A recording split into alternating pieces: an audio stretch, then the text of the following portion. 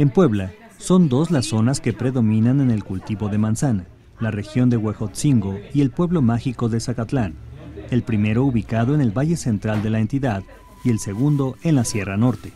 En Casa Martínez, ubicada en la calle Cosío de la colonia Centro, en Zacatlán, el ir y venir de los compradores es una constante. Algunos llevan desde una botella de sidra hasta una o más cajas, todos preparándose para las celebraciones de Navidad y Año Nuevo.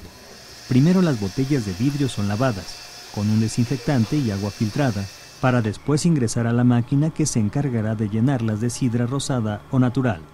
El producto estrella de Casa Martínez es la sidra denominada Pomage, que es un jugo de manzana con vino tinto para que adquiera la presentación de sidra rosada, pero también ofrecen la sidra de membrillo, maracuyá, durazno y la tradicional que es natural de puro jugo de manzana con 4% de alcohol. Habitantes y visitantes también se surten de vinos de frutas, manzana deshidratada, salsa de chiltepín, refresco de manzana, mermeladas y de salsa de frutas con chiles, esta última de reciente creación.